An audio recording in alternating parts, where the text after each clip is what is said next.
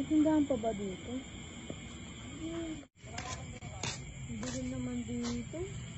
Ah, wala naman tindahan. Saan saan kasi ako tinira ni Dun dito?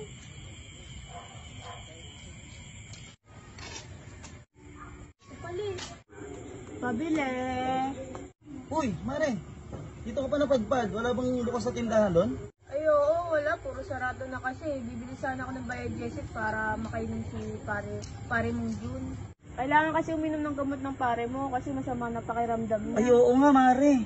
Eh, apat na araw nang wala sa trabaho yun eh. Nabalitaan ko sa opisina, tinamaan pala yung mata niya ng welding rod. Grabe ba? Oo nga pare, masyadong maano yung tama niya sa mata.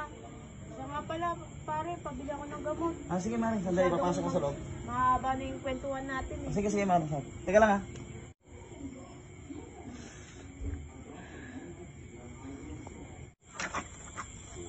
Namutok na binayin ko ito. O, Mare, tiga mo. Thank you, pare. Ay, ingat ka, ingat ka. Kawawa naman si parang Jun. Buntis pa naman yung asawa niya. Kung naku binahinta na to eh. Sira na oh. Ano ayusin to? Sira na to.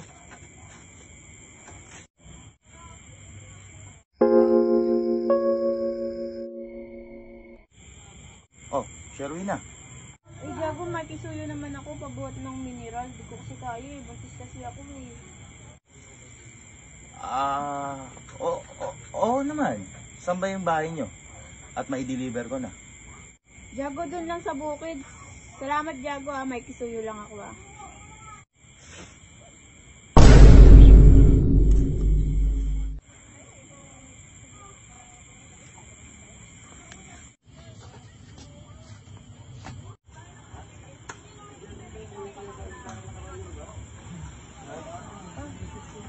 Ha? Ha? Ha? Opa! Ma? Ma? Ha? Ma? Ha? Ano ba yan pa? Di ba sabi ko sa'yo huwag tatayo? Hanggang wala ako. Eh, kanina pa kita hinahanap eh. Iinom na ako ng gamot. Nabigla kang tumatayo eh kung may nangyari sa'yo. Eh, kasalanan ko ba magkaganto ako? Hindi ko ginusto to. Alam mo yan.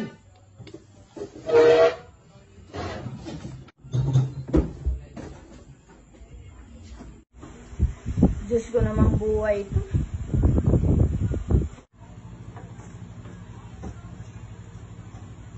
Tandaan.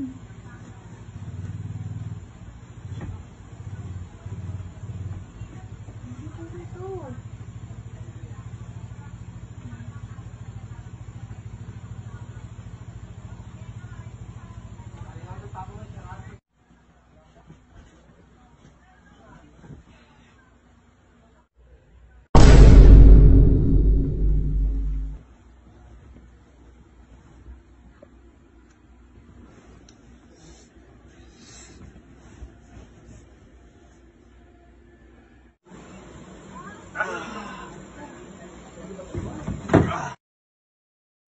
Sherwina?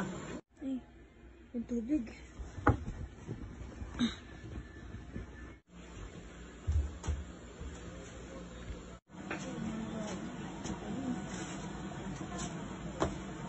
Sherwina, ito na yung galon mo. Oh, eto pala.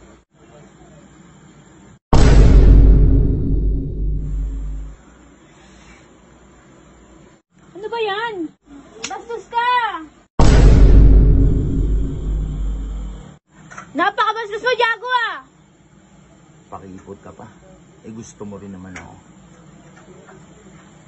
Bastos na ito!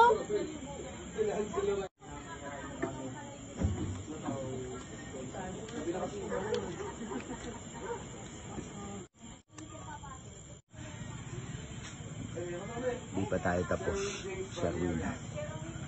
Mahal? Mahal? Oh. Sino yun? Wala, nag ano lang yun, nag-deliver lang ng ano, ng galon. Profit natin. Ah, ganun ba, mahal? Magpahinga ka na.